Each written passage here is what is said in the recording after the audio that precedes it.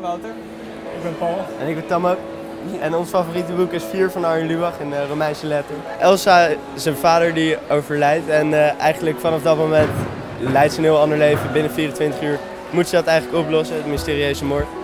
En uh, ja, ik zou het aanraden aan eigenlijk iedereen die een boek wil gaan lezen. Want nou ja, eigenlijk elke pagina is het weer gewoon omslaan met spanning. En dat vind ik het vet aan eigenlijk elk boek van Arjen Lubach, ook Magnus.